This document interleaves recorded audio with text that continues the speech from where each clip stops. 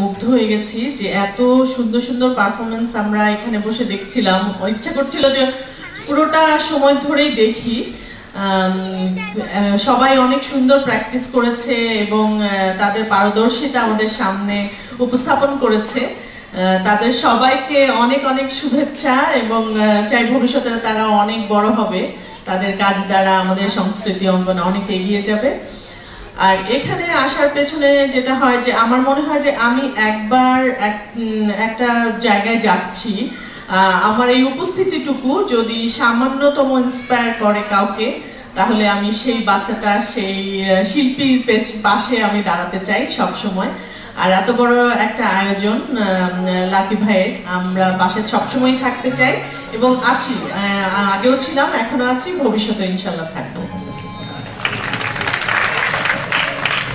আমরা একটা গ্রুপ ছবি তুলব। একটু সামনে চলে আসো। আমাদের নাটকটি একটু পরে হবে। পিপলস লিটিল থিয়েটার ঢাকার নাটক, ডাকঘর। আপনারা সবাই মিলে দেখবেন, আশা করি।